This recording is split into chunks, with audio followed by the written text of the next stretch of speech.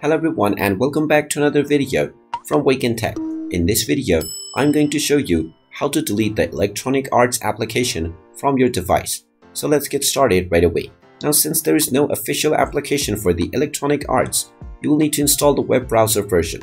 You can do this by going into the EA.com homepage and from there you can simply click on the three dots at the top right corner, scroll over to save and share, and then click on create shortcut. Once you do this, this will create an application shortcut on your desktop and you can also pin this to your taskbar. Now if you wish to delete the application that you installed from the web browser version, you can right click and try to find the file location by clicking on open file location, but it will simply send you to the directory of the Chrome web browser application. So this means that you can simply go ahead and delete the shortcut and this will delete the application web browser version that you have installed on your PC. Tap on the delete button and if you have pinned it, you can simply right click on it and click on the unpin from taskbar option. This will now immediately delete the EA application from your device.